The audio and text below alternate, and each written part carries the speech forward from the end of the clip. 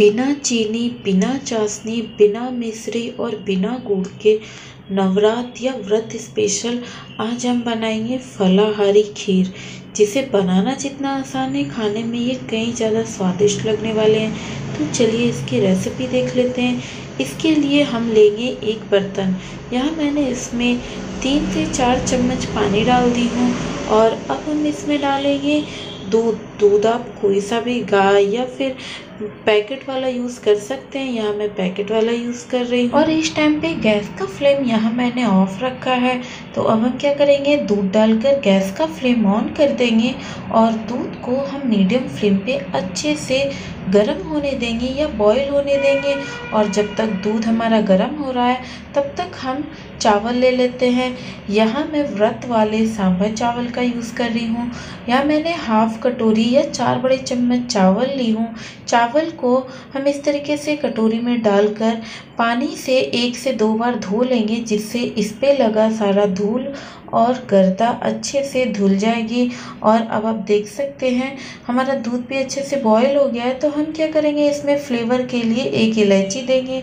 इलायची डालना ऑप्शनल है, अगर आपको पसंद है तो आप ज़रूर डालें, नहीं तो आप इसे स्किप भी कर सकते हैं। और चावल भी हमारा पाँच मिनट अच्छे से धोने के बाद सोख हो गया है तो हम क्या करेंगे, गर्म दूध में हम सारे चावल को चम्मच से इस तरीके से डाल देंगे।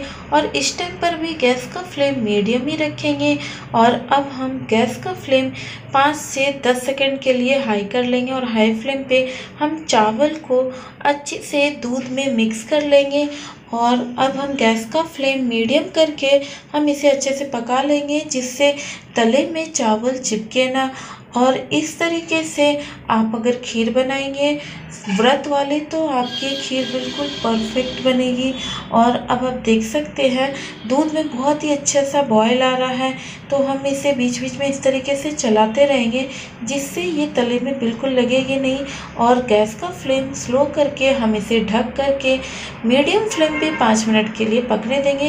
पाँच मिनट हो गए हैं और आप देख सकते हैं, हमारा चावल काफ़ी अच्छे से दूध में पक गई है तो हम क्या करेंगे, इसे चेक कर लेंगे। और मुझे लगता है अभी ये और दो से तीन मिनट पकेगी, तब अच्छे से हमारी खीर बन के तैयार हो जाएगी।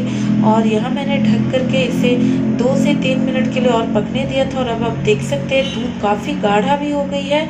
और दूध में चावल बहुत अच्छे से पक गई है।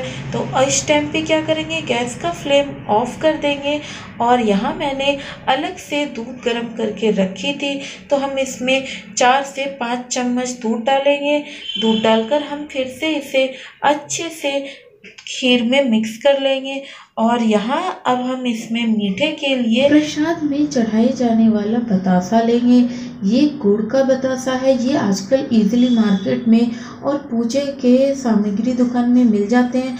तो आप इसे इस तरीके से भगवान को भोग लगाने के बाद इस तरीके से आप फलाहारी खीर में डालेंगे तो फिर ये आपका जो खीर है, इससे मीठा भी हो जाएगा और ये गुड़ की वजह से बहुत ही टेस्टी और स्वादिष्ट लगती है।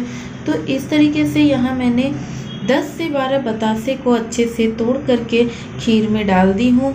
और इस टाइम पे गैस का फ्लेम ऑफ़ है, लेकिन खीर हमारी अभी काफ़ी गर्म है। तो हम क्या करेंगे स्पून या चम्मच से इसे बतासे के टुकड़े को अच्छे से खीर में मिक्स कर लेंगे। आप इसे मुश्किल से एक से डेढ़ मिनट इस तरीके से मिक्स करेंगे तो ये गरम खीर की वजह से बहुत जल्दी खीर में मेल्ट हो जाती है। और अब आप देख सकते हैं, हमारा बतासा बहुत ही अच्छे से खीर में मेल्ट हो गई है और इसमें बहुत ही बढ़िया कलर भी आ गई है। तो यहाँ मैंने इसमें मिठास के लिए गुड़ वाले बतासे का यूज़ किया है, लेकिन अगर आप इसमें चीनी डालना चाहते हैं तो आप चीनी की जगह इसमें मिश्री का भी यूज़ कर सकते हैं। उससे भी ये बहुत ही बढ़िया और स्वादिष्ट बनेगी। तो अब आप देख सकते हैं, हमारा खीर बन के तैयार हो गई है। तो हम क्या करेंगे, इसमें थोड़े से ड्राई फ्रूट कटे हुए डालेंगे। यहाँ मैंने इसे कटा हुआ ही डाला है, लेकिन आप चाहे तो इसे घी में फ्राई करके भी डाल सकते हैं। और ड्राई फ्रूट डालकर हम इसे फिर से अच्छे से मिक्स कर लेंगे और अब हम दो से पाँच मिनट के लिए ठंडा होने देंगे और आप देख सकते हैं, खीर हमारा एकदम गाढ़ा और रबड़ीदार बना है और अब हम इसे इस तरीके से कटोरी में या फिर प्लेट में सर्व कर लेंगे और फिर आप इसे फलाहारी व्रत में या नवरात्र में या फिर आप कोई सा भी फास्ट रखते हैं तो उसमें इस खीर को इस तरीके से बना के खा सकते हैं। और अब हम इसके ऊपर थोड़े से और कटे हुए ड्राई फ्रूट डालेंगे।